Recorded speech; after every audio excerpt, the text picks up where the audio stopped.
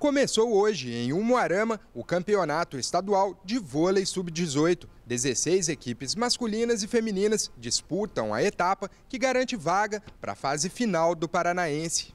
O Umuarama já é tradicional na, junto à federação sediar as competições aqui. Tem uma organização boa, e por isso nós voltamos novamente. A semana passada teve uma categoria sub-15 aqui, fomos muito bem recebidos. E agora novamente no sub-18, que é o campeonato principal do estado. As equipes femininas de São José dos Pinhais e Marechal Cândido Rondon abriram o campeonato no ginásio do Colégio Global. Vai ser pegado, né? Vai ser bastante pegado. Tá todo mundo ansioso, tá? O primeiro jogo é importante, né? Demais. Para as atletas, os últimos dias antes do campeonato foram de preparação intensa. Para chegar com tudo, para chegar 100%. Mas a expectativa é a melhor, para somar pontos. Daqui podem despontar grandes talentos, a partir de campeonatos de base é que costumam ser revelados os grandes destaques do esporte.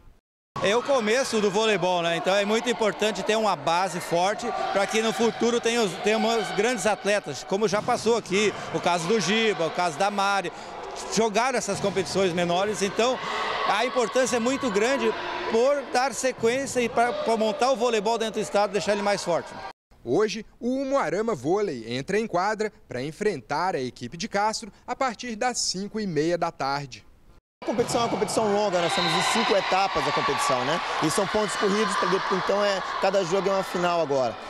Jogando em casa, a expectativa é que o Umuarama conquiste mais um bom resultado.